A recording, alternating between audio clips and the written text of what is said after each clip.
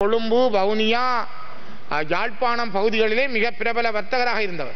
இலங்கை அரசு அவருக்கு தேசமானிய விருது வழங்கி இருக்கிறது இவ்வாறான ஒருவர் பொங்குடிரிவு முறையே மடத்து வழியில் தன்னுடைய வீட்டுக்கு முன்னால் கேட்டோடு தெருவோரமாக இருந்தபோது ஒரு மதிய வேளை திடீரென்று காணாமல் போயிருக்கிறார் என்றால் இந்த இவ்வளவு நா- நாட்டிலே இவ்வளவு படைகள் போலீசார் முப்படைகள் இருந்தும் ஐந்து பேர் மோட்டார் சைக்கிள்களில் வாள்களோடு வந்திருக்கிறார்கள்.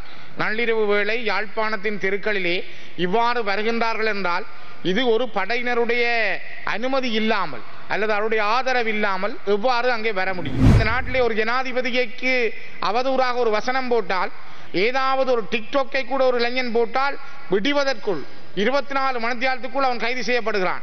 அல்லது அவனுடைய வீடு முற்றுகையிடப்படுகிறது.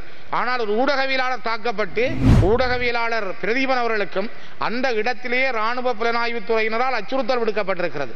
அந்த அச்சுறுத்தலுடைய தொடர்ச்சி அவருடைய பிரதீபனுடைய வீடு அடித்து நொறுக்கப்படுவதற்கும் தாக்கப்படுவதற்கும் எரிக்கப்படுவதற்கும் காரணமாக அமைந்திருக்கிறது. யாழ்ப்பாண மாவட்டத்தின் பத்தமேனி அச்சுவேலியைச் சேர்ந்த ஊடகவியலாளரும் முன்னாள் போராளியுமான திரு தம்பித்துறை பிரதீபன் அவர்களது வீட்டின் மீது இனந்தெரியாத நபர்கள் தாக்குதல் நடத்தியுள்ளனர். கடந்த ரெண்டாயிரத்தி இருபத்தி நாலு ஆறு பன்னெண்டாம் தேதி புதன்கிழமை நள்ளிரவு அச்சுவேலியில் உள்ள அவரது வீட்டிற்கு அடாவடியாக உள்நுழைந்த ஐந்து பேர் கொண்ட கும்பல் வீட்டின் நுழைவாயில் கதவு ஜன்னல்களை ஆயுதங்களால் தாக்கி சேதம் ஏற்படுத்தியதோடு வீட்டில் நிறுத்தி வைக்கப்பட்டிருந்த மோட்டார் சைக்கிள் முச்சக்கர வண்டி மற்றும் வீட்டு உபயோகப் பொருட்களையும் தீக்கிரையாக்கியுள்ளனர். இதனால் பத்து லட்சம் ரூபாவுக்கு மேல் பொருள் இழப்பு ஏற்பட்டுள்ளதுடன் ஊடகவியலாளரான தம்பித்துறை பிரதீபனின் ஊடகப் பணிகளுக்கு அச்சுறுத்தல் விடுக்கும் வகையிலேயே இந்த வன்முறை சம்பவம் திட்டமிட்டு அரங்கேற்றப்பட்டுள்ளது. நான்கு விசேட போலீஸ் குழுக்கள் அமைக்கப்பட்டு விசாரணைகள் மேற்கொள்ளப்படுவதாக செய்திகளில் கூறப்படுகின்ற போதும் இன்று வரை இந்த சம்பவம் தொடர்பில் ஒரு சந்தேக நபர் கூட கைது செய்யப்படவில்லை. இது தவிர யாழ்ப்பாண மாவட்டத்தின் வெவ்வேறு பகுதிகளைச் சேர்ந்த மூதாளர்களான பிரபல வர்த்தகர்கள் காரணங்களற்று திடீரென காணாமல் போகும் சம்பவங்களும் நடைபெற்று வருவதை அவதானிக்க முடிகிறது. பிரதீபன் அவர்கள் யாழ்ப்பாண மாவட்டத்தினுடைய மூத்த ஊடகவியலாளர்களில் ஒருவர். பல்வேறுபட்ட இடங்களிலே தன்னுடைய செய்தி சேகரிப்பை சிறப்பாக ஆற்றுகின்றவர் அவருடைய அந்த செய்தி சேகரிப்பின் மீது பொறாமை கொண்ட படைத்துறை சார்ந்தவர்கள்தான் இந்த விடயத்தை கையாண்டிருக்க வேண்டும் என்னுடைய அனுமானத்தின் பிரகாரம் நான் அவருடைய வீட்டுக்கு தம்பித்துறை பிரதீபன் அவருடைய வீட்டுக்கு சென்று பார்த்ததன் அடிப்படையில் அவருடைய வீட்டை கேற்றால் பாய்ந்து அவருடைய கேற்றை கொத் வாள்களால் வெட்டி கொத்தி அவருடைய வீட்டின் பொருட்களை சேதப்படுத்தி கொளுத்திய அந்த நபர்கள் ஐந்து பேர் மோட்டார் சைக்கிள்களில் வாள்களோடு வந்திருக்கிறார்கள். நள்ளிரவு வேளை யாழ்ப்பாணத்தின் தெருக்களிலே இவ்வாறு வருகின்றார்கள் என்றால் இது ஒரு படையினருடைய அனுமதி இல்லாமல் அல்லது அவருடைய ஆதரவு இல்லாமல் எவ்வாறு அங்கே வர முடியும்? இலங்கையிலே அதிகூடிய படைகள் யாழ்ப்பாண மண்ணிலே குவிக்கப்பட்டிருக்கிற இந்த சூழலில் யாழ்ப்பாணத்தில் இவ்வாறான வாழ்வெட்டு சம்பவங்களும் வீடுகளை உள்நுழைந்து உடைக்கின்ற சம்பவங்களும் அதற்கு பின்னாலே படையினர் காத்திருக்கின்ற விடயங்களையும் எங்களால் மிக துல்லியமாக உணர முடிகிறது.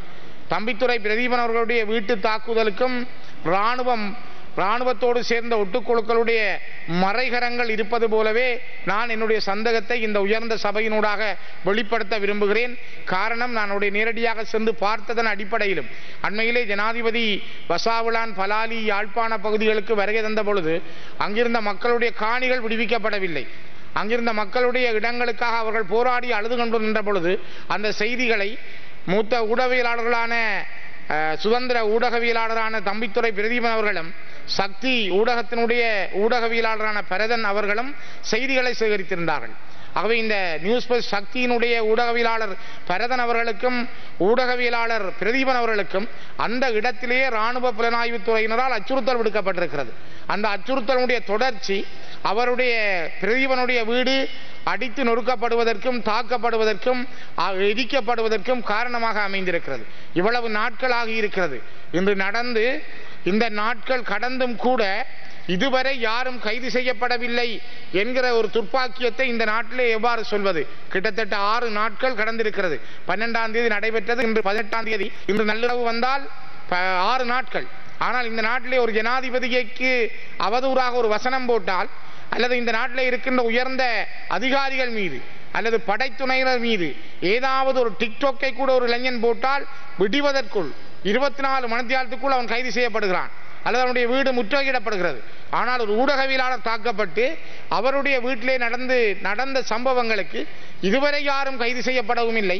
ஆறு நாட்களாக இழுத்தடிக்கப்பட்டிருக்கிறது என்றால் இந்த நாட்டினுடைய நீதி நிர்வாகம் போலீஸ் எவ்வாறு செயல்படுகிறது என்பதற்கு இது ஒரு நல்ல உதாரணமாக நான் இந்த உயர்ந்த சபையிலே கேட்டுக்கொள்கிறேன். மிக முக்கியமாக கௌரவ தலைமை தாங்கும் உறுப்பினர்களே இதற்கு நீதி கிடைக்குமா?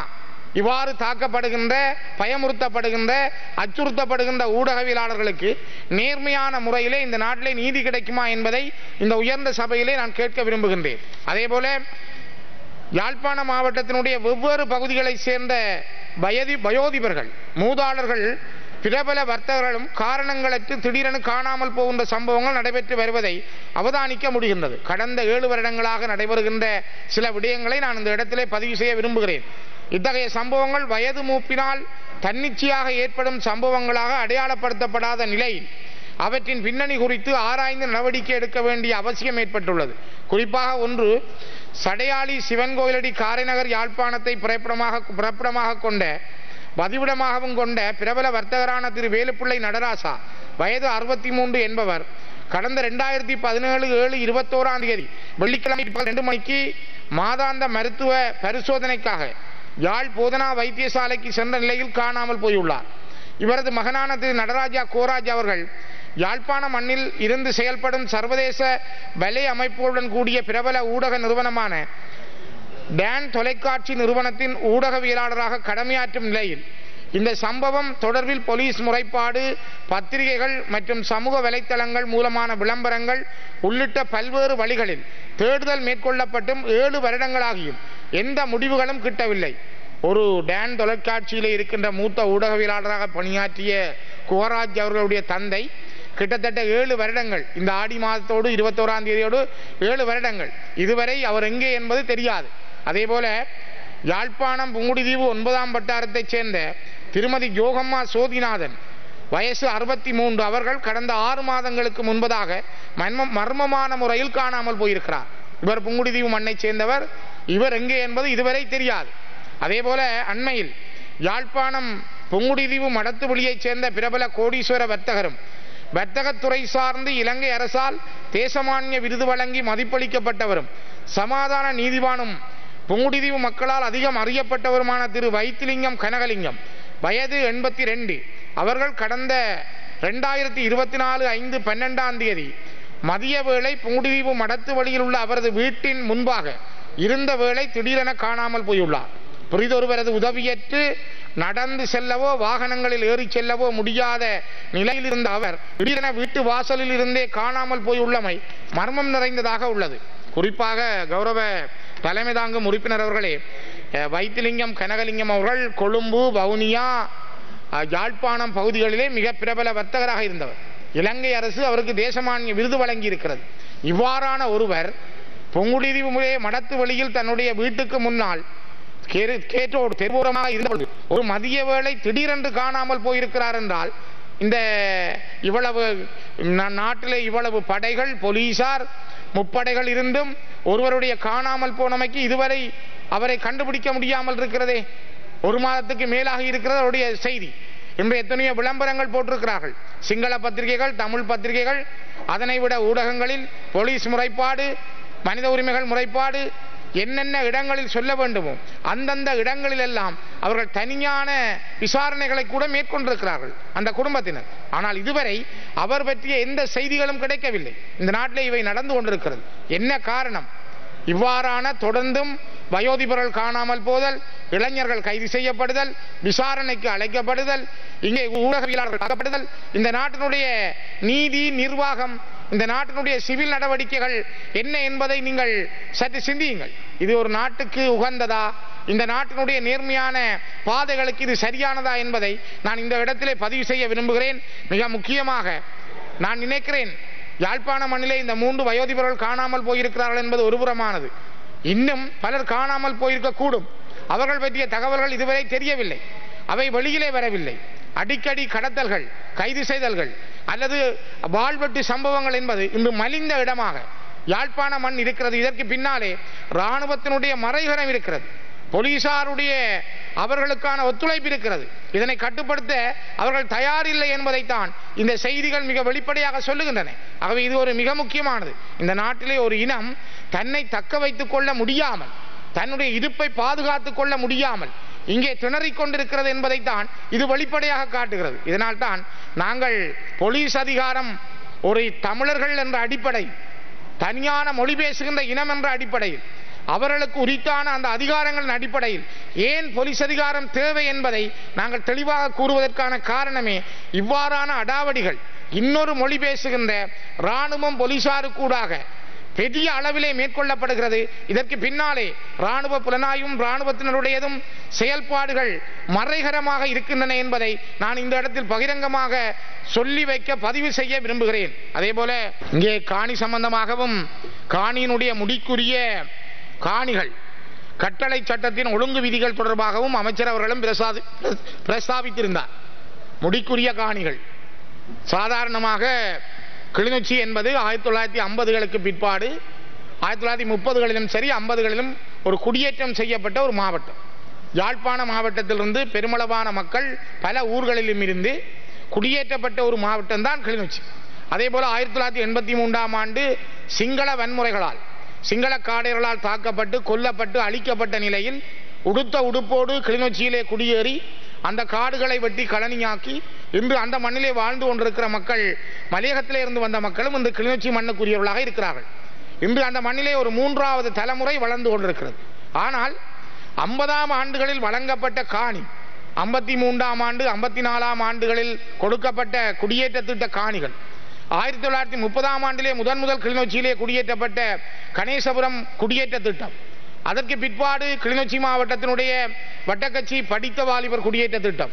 ராமநாதபுரம் குடியேற்ற திட்டம் உருத்திரபுரம் குடியேற்ற திட்டம் அக்கராயன் குடியேற்ற திட்டம் குடியேற்றப்பட்ட இடங்கள். இவ்வாறான குடியேற்றப்பட்ட இந்த மக்களுடைய இடங்களில் அவர்களுடைய காணிகள் அவர்களுக்கான உரித்துக்கள் இவ்வளவு காலமாகியும் உறுதி வழங்கப்படாத நிலையில் இருக்கிறது. கிளிநொச்சியினுடைய நகரப்பகுதியிலே உதயநகர் கணேசபுரம் கிளிநொச்சி நகரம் ரத்தினபுரம் திருவியாறு இந்த பகுதிகளில் இருக்கிற மக்களுடைய காணிகள் பெரும்பாலானவர்களுக்கு இன்னும் உறுதி வழங்கப்படவில்லை.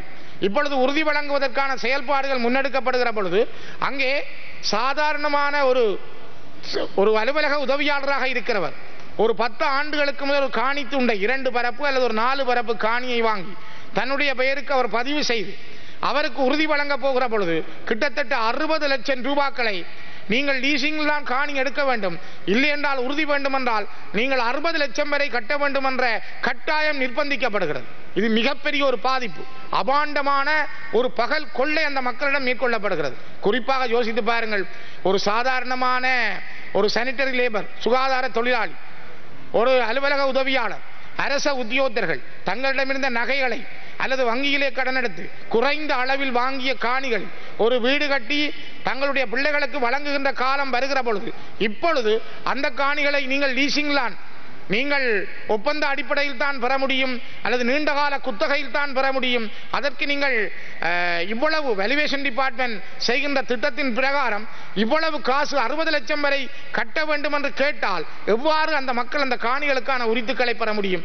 ஆகவே இந்த நாட்டிலே எல்லா இடங்களும் உறுதி வழங்கப்பட்டு அவர்கள் அந்த உறுதிகளை வங்கியிலே அடை வைக்கவோ அல்லது தாங்கள் கடன் பெறவோ தங்களுடைய அடுத்த பிள்ளைகளுக்கு எழுதி கொடுக்கவோ உரித்துடையவர்களாக இந்த நாட்டில் இருக்கிற பொழுது கிளிநொச்சி மாவட்டத்தில் இருக்கின்ற இந்த மக்களுடைய காணிகள் தங்களுடைய பிள்ளைகளுக்கு அதை எழுதி கொடுக்க முடியாமலும் ஒரு கடன் தேவைக்காக வங்கியிலே தாங்கள் அடை வைக்க முடியாமலும் அந்த தாங்கள் அடுத்த. வேலை திட்டத்தை மேற்கொள்ள முடியாமலும் தடுக்கப்பட்டிருக்கிறார்கள். ஆகவே இது மிக மோசமான காரியம். அமைச்சர் அவர்கள் இங்கு இல்லை. ஆனால் அதிகாரிகள் வந்திருப்பார்கள். இதற்கு ஒரு நீதியான தீர்வு வேண்டும். அவர்களிடம் இவ்வாறான சாதாரண உத்தியோகத்தர்களிடம் அறுபது லட்சம் இருந்து ஒரு கோடி வரையும் நீண்டகால குத்தகை காசு கட்டித்தான் நீங்கள் காணியுடைய உறுதியை பெற முடியும் என்று அவசானம் மக்களுடைய. எதிர்காலம் வாழ்க்கை பாதிக்கப்பட்டிருக்கிறது என்பதை மீண்டும் நான் இந்த இடத்திலே பதிவு செய்கிறேன்